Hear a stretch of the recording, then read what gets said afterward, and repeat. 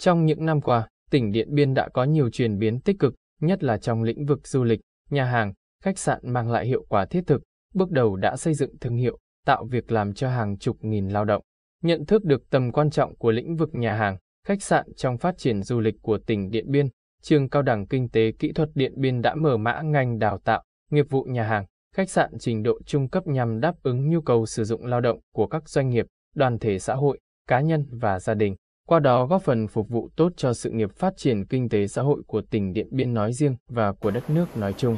Ngành nghiệp vụ nhà hàng khách sạn là một trong những ngành học rất được ưa chuộng và được đánh giá là ngành học không bao giờ lỗi thời, đặc biệt là trong thời đại 4.0 hiện nay. Công việc càng áp lực, bận rộn thì nhu cầu nghỉ dưỡng cũng ngày càng cao. Đó chính là một trong những nguyên nhân thúc đẩy nhóm ngành nhà hàng khách sạn ngày một phát triển, là ngành dịch vụ chuyên về các hình thức giải trí, vui chơi, nghỉ dưỡng và các dịch vụ ăn uống, ngành nghiệp vụ nhà hàng, khách sạn trình độ trung cấp đào tạo người lao động trong lĩnh vực kinh doanh nhà hàng, khách sạn hoặc các cơ sở lưu trú, khu du lịch, resort với các hình thức phục vụ đa dạng phong phú.